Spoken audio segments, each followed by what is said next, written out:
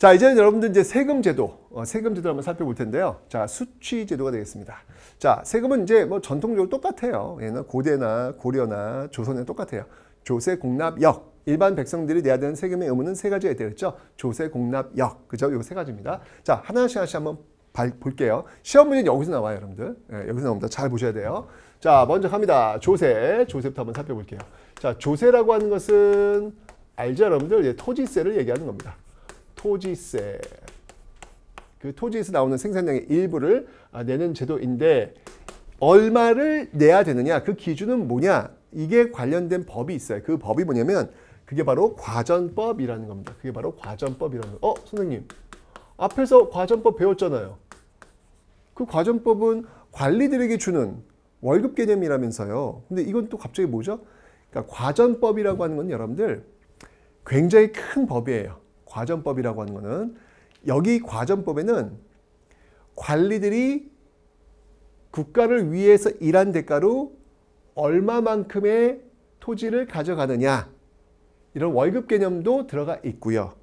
그리고 일반 백성들이 국가에 생산량의 일부를 내야 될 텐데 얼마를 내야 되느냐에 대한 개념도 들어가 있어요. 그러니까 과전법 안에 관리들의 월급 주는 방식 그리고 백성들이 세금 내는 방식 이게 다 들어가 있는 거예요. 무슨 말인지 알죠? 지금 우리는 백성들이 세금 내는 방식을 배우는 거야. 그래서 또 과전법이 등장한 거예요. 오케이?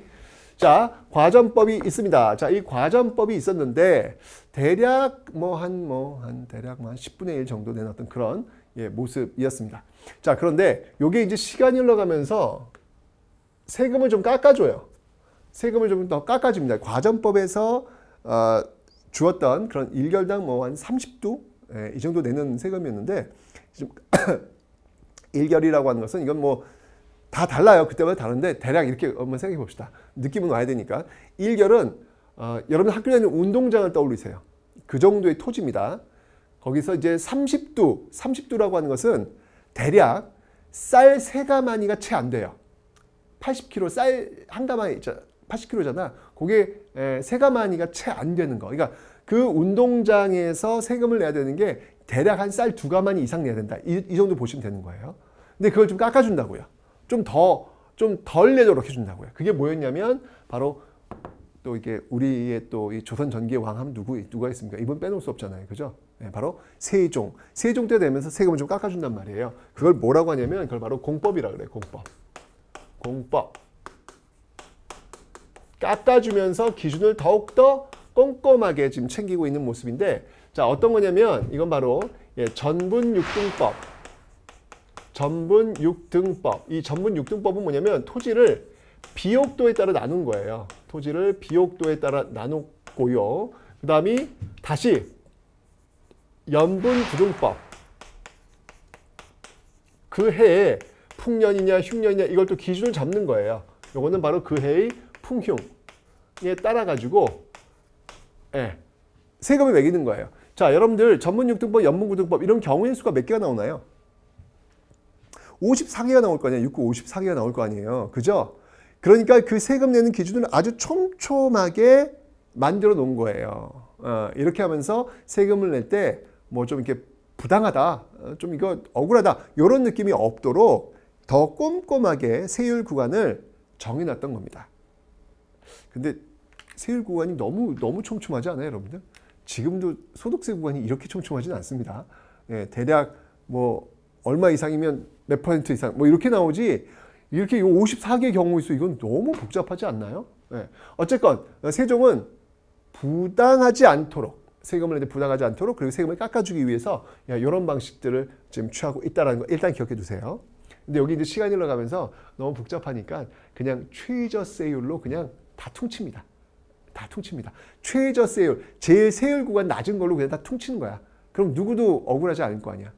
예, 근데 돈 많은 사람들은 에라디야 하겠죠. 최저 세율이 적용되니까 그죠? 뭐 어쨌건 간에 요게 이제 변할 거예요. 자, 요게 이제 세금을 내는 어떤 그런 방식이었습니다. 자, 조세 됐고요. 그 다음에 공납이 있습니다. 특산물을 내는 거라고 제가 설명드렸죠. 자, 공납. 공납이 있습니다. 공납. 이 공납은 바로 예, 특산물을 내는 것이었습니다. 어허. 있는데 이 공납을 내는 그 기준은 뭐였냐면요. 집집마다 내는 거예요. 집집마다 호. 음, 호. 집집마다 한 집마다 이렇게 할당을 해가지고 특산물을 내도록 돼 있어요. 아, 우리 마을의 대추가 100가마가 할당됐어. 그러면 집집마다 한 가마씩 뭐 이런 식으로 배당이 됐다는 얘기죠. 여기 이제 특산물 내는 건데 문제는 뭐냐면 이 공납 내는 게 쉽지가 않아요. 제주도의 특산물 뭔지 아세요? 공납 귤이에요, 귤.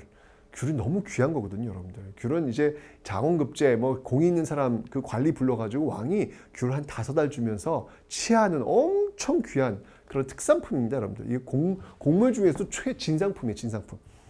그러니 이 지방 관리들이 이 귤을 따기 위해서 난리도 아니에요. 귤이 요만큼 콩처럼 올리잖아요. 그걸 다 개수를 세워요. 그럼 이걸 딱 맞춰가지고 내야 되는 거예요. 이게 얼마나 힘들, 제주도 뭐가 많아. 비도 많고 바람 많은데 요따만한 콩한 따위가 그렇게 붙어 있겠냐고. 비가 확확 떨어지고 그럴 거 아니에요. 어렵다고요. 자, 여러분들 항상 내가 힘들고 어려울 때는 그걸 대행해주는 대행업자들이 등장합니다. 우리가 누굽니까, 여러분들? 배달의 민족 아닙니까? 항상 이 당시도 마찬가지예요. 어려운 일 있어? 그걸 대신 대행해주는 대행업체들이 등장을 해요. 그들은 뭐라고 하냐면 방납이라고 합니다. 방납. 방납은 뭐냐면요. 아, 막아주는 거예요. 예, 공납을 그러니까 국가에 공납 내는 걸 자기가 스스로 막아주는 거예요. 내가 지금 대신 내준다는 얘기죠. 방납이라고 하는데 문제는 뭐냐면 이 방납업자들이 그 지방 수령 사또랑 결탁을 하네. 그래서 이 백성들이 오로지 이 방납업자의 특산물만을 내도록 만드는 거예요. 지방사또 수령은요 오로지 특정 방납업자의 물품만 받는 거야. 특정 방납업자의 귤만 받는 거야. 농민들이 귤 가져오면 뭐 상했느니 귤이 맛이 없게 생겼니 안 받아. 이걸 어떻게 임금한테 받아? 안 받아. 오로지 방납업자의 귤만 받는 거예요. 그러면 백성들은 어쩔 수 없죠. 방납업자의 물건을 사는다고요. 그런데 이 방납, 이 업자의 물건이 얘 귤을 들면 귤의 10배예요. 10배. 10배나 되는 가격을 주고 내야 되니까 얼마나 힘들겠어. 여기 또 여러분 뭐가 연결되어 있겠죠? 바로 예, 이 방납업자와 지방 수령 간에 리베이트가 있겠죠. 네. 그 리베이트를 조선시대 뭐라 하는 줄 아세요, 여러분들? 놀랍게도 이걸 인정이라 그래요. 인정. 사또 이게 다 인정입니다. 인정. 인정입니다. 이렇게 야, 우리 인정이 얼마나 좋은 말이에요. 그죠? 근데 조선시대는 이게 바로 이 부정과 비리의 단어로 사용됐다는 사실 인정이었습니다. 어쨌건 이런 방납업자들의 폐단이 엄청 많으니까 백성들이 죽어나는 거예요.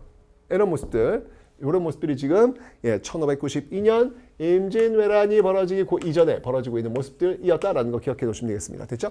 자, 됐고요. 공납 됐고요. 다음은 이제 역, 역, 역, 역을 한번 알아보도록 하겠습니다. 자, 역은 뭐냐면 노동력을 제공하는 것이다 라고 제가 설명을 드렸습니다. 그죠? 자, 근데 어떤 노동력, 노동력을 제공하는 방식은 두 가지가 있다라고 설명드렸죠. 바로 예, 군역과 군역과 예, 그리고 요역이 있다. 군역과 요역이 있다라고 설명드렸습니다. 군역은 이제 군대에 가는 것이고요. 그리고 요역은 노동력, 말 그대로 뭐 사홍 쌓기, 길 닦기 뭐 이런 데 동원되는 건데 어, 1392년 조선이 건국되고 1592년 무려 200년이에요. 딱 200년이에요. 200년 동안 큰 전쟁이 없어요. 야, 우리 역사에서 이렇게 오랜 기간 동안 전쟁 없기도 참 쉽지 않거든요, 여러분들. 예, 전쟁이 없어요. 전쟁이 없다 보니까 어떻게 되면 군대를 가가지고 군대를 가가지고 군사 훈련을 받아야 되는데 군사 훈련 안 받고 맨 성쌓기, 길 닦기, 빗자루질, 눈 쓸기 뭐 이런 데만 동원되는 거예요. 이렇게 되면서 군역의 요역화 현상이 벌어지는 거예요. 군역의 요역화 현상. 그러니까 백성들이 너무 힘든 거야. 나라 지키려고 왔는데 맨날 와가지고 여기 노동력만 제공하기 힘든 거야. 이러면서 군대를 안 가려고 해. 근데 안 갈 수 있었어요. 이 당시는요. 돈만 내면 안 가도 돼요. 그 당시 돈은 뭐냐면 포예요. 옷감이거든요. 자, 그런데 문제는 뭐냐면 그 포를 내면 안 가도 되는데 그 포를 걷어들이는 또 이 지방 수령이 또 이게 이게 부정부패하면서 좀 더 내라, 좀 더 내라 뭐 이렇게 나오는 거예요. 자, 이러면서 또 문제가 발생합니다. 이러면서 또 문제가 발생합니다. 이게 뭐냐면 바로 대립 방군 수포. 대립은 뭐냐면 다른 사람을 대신 세우는 거예요. 대신 대신 세운다는 얘기. 대신 세운다. 설립자. 그다음에 방군 수포는 뭐냐면요. 군대를 빼주는 거예요. 방생한다 그러잖아요. 군대를 놔주는 거예요. 뭐를 포를 내면 빼주는 거예요. 근데 여기 이제 지방 수령이 결탁이 되면서 더 세금을 많이 뜯어가는 어떤 그런 모습들이 보여진다는 얘기죠. 즉 임진왜란 직전에 정말 이 세금 체계가 총체적인 문란으로 지금 가고 있다라는 겁니다. 자 그러다 전쟁 터진 거예요. 전쟁 터지고 양반들 먼저 도망가기 바빴잖아요. 양반들 위선이 보여진 거야. 이제 백성들은 아주 싸늘한 시선으로 그 양반들을 바라보고 있다고요. 지네들이 부모님처럼 우리를 보살펴준다는데 지네들이 먼저 도망가? 이 나쁜 것들! 이렇게 나온다는 얘기예요. 뭔가 그들을 달래줄 필요가 있었죠. 왜? 계속 정권을 유지하려면 필요했다는 이야기예요. 그래서 조선 후기에 그 양반들이 선택했던 방식은 뭐냐면요. 세금을 깎아주는 방식이에요.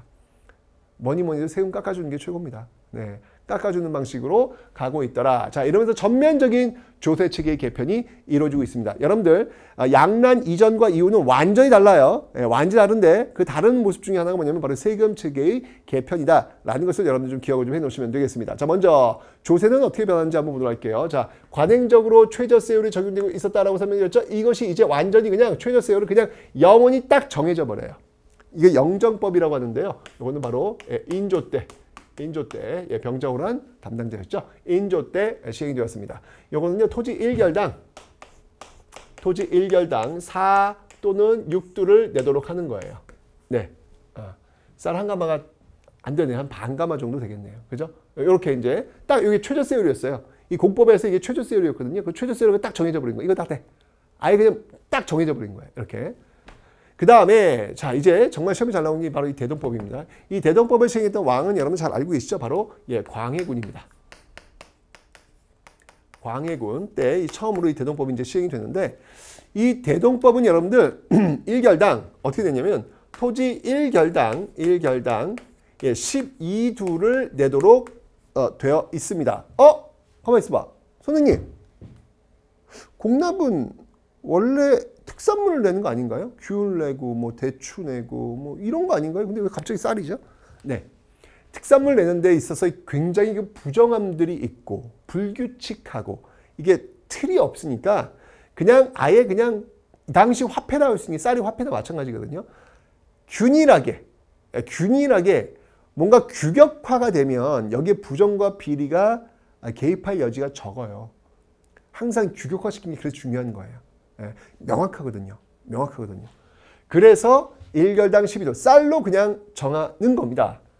그래서 지금 이제 이 쌀로 냈다는 얘기는 뭐냐면 이제 그 기준이 호, 집집마다 내는 호 단위에서 이제 토지 단위로 지금 바뀌고 있다.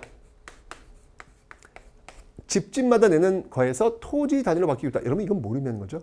그러면 내가 토지를 많이 갖고 있어. 나 10개 갖고 있어. 그럼 몇둘 내야 되는 거예요? 120둘 내야 되는 거예요. 뭐야? 나 옛날에 나 옛날에 그냥 나도 똑같이 옆집 못 사는 사람이나 나나 똑같이 귤한 상태 냈는데 이제는 내가 땅이 많다고 해서 120둘 내야 되는 거예요.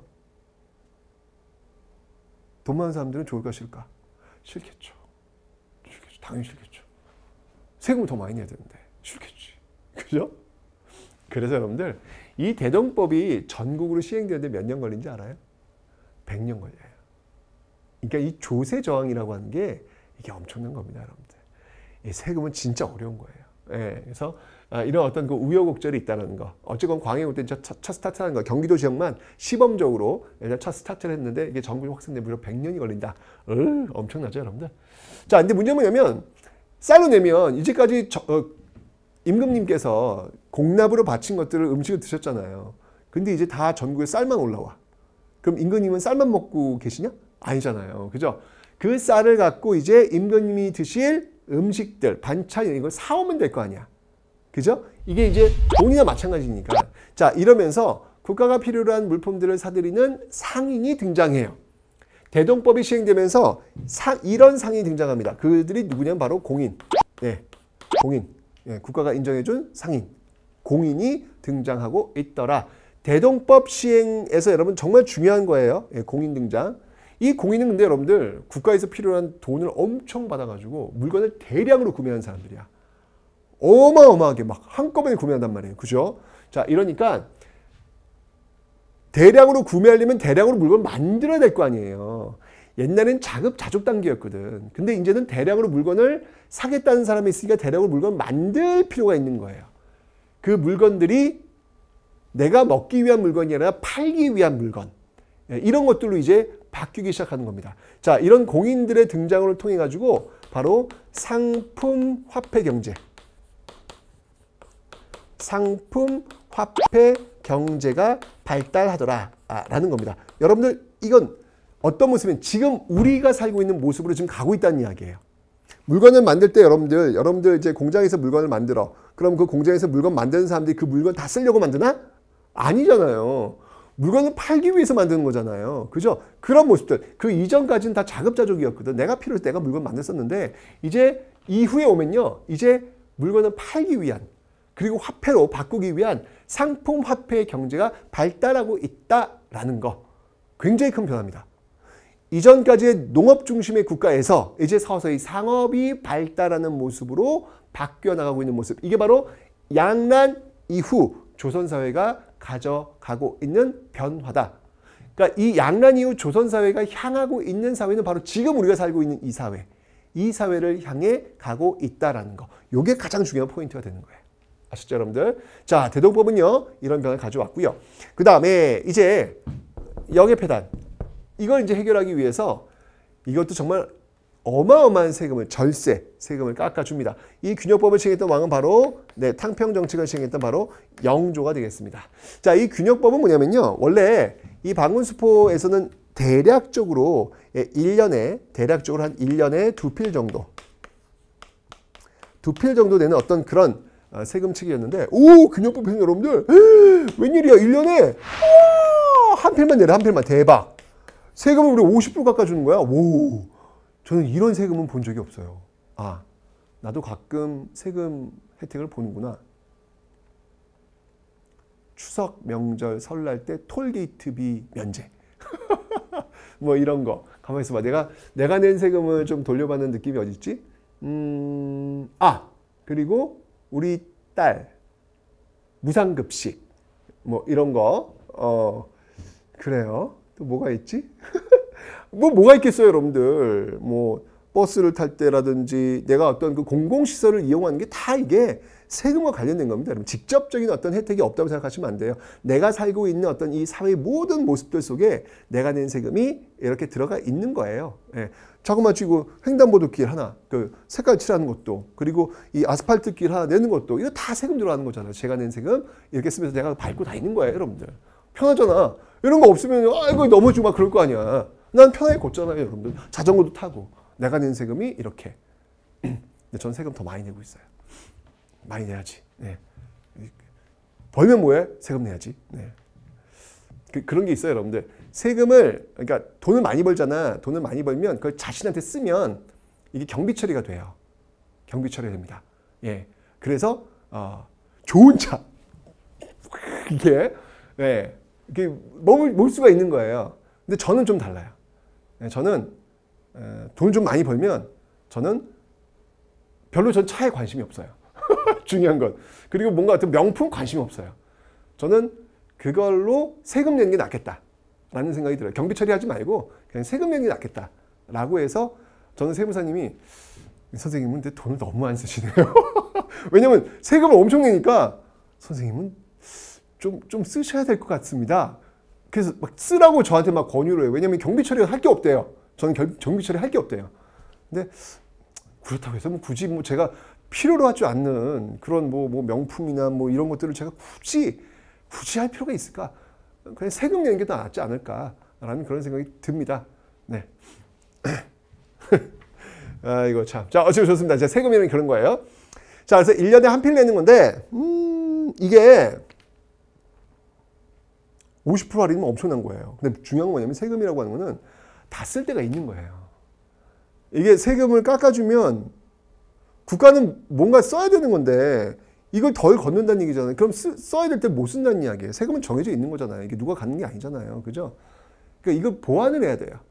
이렇게 깎아줬으면 보완을 해야 돼요. 그 보완을 어디서 하느냐? 자, 한번 보도록 할게요. 자, 이 1년에 한 필 내는 거, 이거, 이거 보완을 해줘야 됩니다. 이 보완, 보완 방식이 있어요. 자, 어떤 것들인지 한번 볼게요. 자, 먼저, 결작이라는 것을 걷게 합니다. 결작. 자, 보완책, 결작. 1결당 2두씩. 1결당 2두씩 세금을 내도록 하는 게 있고요. 그 다음에 그 당시에 좀 이제 조선 후기가 되면 돈을 좀 번, 어, 돈을 좀 번 어, 일반 백성들이 있어요. 예. 그러니까 이게 돈을 야 방금 얘기잖아. 돈을 좀 많이 벌면 뭔가 그 돈을 좀 나를 위해서 좀 쓰고 싶다고. 경비 처리 경비 처리 쓰고 싶다고 그런 사람이 이 당시도 있단 말이에요. 그런 사람들 국가가 명예직을 주는 거예요. 어 그래 너 그럼 이제부터 선무군관이라는 명예 줄게 대신 돈 내. 라고 하는 거예요. 그럼 어차피 난 돈이 있는데 나 명예 명예 좋잖아요. 어 기꺼이 내는 거예요. 그걸 뭐라고 하냐면 바로 선무군관포라 그래요. 선무군관포라 그래요. 아, 이거 선무군관포. 그 다음에 이게 어, 영조도 시행된 건데 참 영조가 대단한 게 뭐냐면 사실 영조도 나름대로 우리도 뭔가 솔선수범해야 된다. 아, 국가 재정을 백성들을 위해서 이렇게 지금 세금을 줄여주고 있는데 이걸 보완하기 위한 방식이 우리 왕실도 뭔가 좀 해야 되는 거 아니냐라고 해가지고 어장세, 염세, 선박세 여기다가 세금을 붙여요. 근데 원래 이게 그러니까 어장이라고 하는 건 물고기 잡을 때 그다음에 소금 그다음에 배 오고 갈 때 이제 세금 내죠. 지금도 뭐 이런 다 세금 내거든요. 이런 것들은 주로 어디냐면 왕족들이 주로 관리하고 있었어요. 면세제 면세 세금 안 내는 거였거든요. 그런데 여기다 세금을 부과하는 거예요. 우리 왕실 왕족들도 세금 내자는 이야기예요. 우리가 먼저 솔솔수범해야 된다는 얘기죠. 그래야 백성들 고통을 줄일 수 있다는 이제 판단한 거죠. 대단하신 분이에요, 영조는요. 예, 백성들을 위해서 어떻게든지 한번 좀 도와주기 위한 어떤 그런 액션들을 지금 이렇게 보이고 있다라는 겁니다. 자, 근데 여러분들, 자, 지금 여러분들 좀 눈치 있는 친구들 잘 보세요. 이 세금 체제의 변화, 영정법, 대동법, 균역법. 자, 조선 후기 와서 지금 조세 공납역이 지금 이렇게 영정법, 대동법, 균역법 바뀌었는데 뭔가 공통점이 바뀌어 공통점이 느껴지지 않아요, 여러분들? 공통점. 어떤 공통점 느껴져요, 여러분들? 그렇죠. 자, 보세요. 지금 원래 조세는 쌀을 내는 것이고 공납은 특산물을 내는 것이고 역은 노동력을 내는 건데 이게 조선 후기가 되면서 잘 보니까 지금 보세요. 자, 이거 영정법은 지금 뭘로 되는 거예요? 똔똔똔똔 1결당 4에서 6도 네, 쌀 내는 겁니다. 맞죠? 쌀 내는 거죠? 자, 그 다음에 대동법 1결당 12도 뭘 내는 거예요? 쌀 내는 거예요. 맞죠? 균역법 보완책으로 결작 1결당 2도 뭘 내는 거예요? 쌀 내는 거예요. 어? 조세 공납 여기 전반적으로 지금 쌀을 내는 걸로 지금 바뀌고 있다는 얘기예요. 지금 이렇게 이렇게 지금 바뀌고 있다는 얘기입니다. 조선 조선 후기 와가지고는요. 즉 뭐냐면 이걸 이런 걸 뭐라고 하냐면 바로 조세의 조세의 전세화 현상. 전세 토지전 예, 토지의 세금이 물리는 현상이 나타나고 있다. 조세의 전세화 현상이 지금 조선 후기에 나타나고 있다라는 겁니다. 이 말은 뭐냐면 많이 가진 사람들이 세금을 더 많이 내는 구조로 바뀌고 있다는 얘기예요. 이 얼마나 합리적입니까? 요즘도 여러분들 아 세금, 세금, 세금도 요즘 우리나라 세금도 굉장히 많이 올라가 있어요. 어, 대략 약 한 최고 세율 같은 경우에는 거의 50%가 넘어요. 그러니까 왜 그러냐면 건강보험료도 거의 준조세화되어 있거든요. 그런 것까지 포함시키면 거의 뭐 소득의 50%는 넘는다. 이게 다 세금이에요. 그러니까 제가 오늘 올해 오늘 오늘 강의 가는데 100만 원 벌었다. 100만 원 벌면 그 중에서 50만 원 세금이야. 아, 이, 런 구조예요, 여러분들. 이런 구조예요. 예. 그래서 굉장히 지금도 여러분들 세금이 굉장히 많아졌는데 많이 가진 사람이 많이 세금 내라는 거예요. 그죠? 여기도 지금 그런 현상이 벌어지고 있는 겁니다. 지금 어떤 세금 체계 어떤 합리적인 어떤 예, 그런 모습들 많이 가진 사람이 많이 세금 내도록 하는 모습들 조세의 전세화 현상이 벌어지고 있다. 당연히 여기에 대한 저항도 많았죠. 그래서 대동법 같은 경우는 진짜 100년 걸렸다는 얘기 그래서 나오는 거예요. 오케이. 자, 근데 여러분들 이렇게 쌀에 집중되는 이유는 뭘까? 뭔가 이유가 있어. 지금 양란 이후에 세금이 지금 다 이렇게 쌀에 지금 집중하는 이유는 뭘까? 이유가 있어요. 이유가 있어요. 그 이유는 뭐냐면 쌀이 많이 나오니까. 조선 후기에 쌀이 많이 나오니까. 토지가 그만큼 비옥해졌다는 이야기예요. 이유가 있어요. 왜 갑자기 조선 후기에 이렇게 쌀이, 쌀 생산이 많아졌고 그 많아진 쌀 생산에다 세금을 자꾸 매기려고 하는 걸까? 이유가 있어요. 자, 그 이유는 제가 다음 챕터에서 설명드리도록 하겠습니다.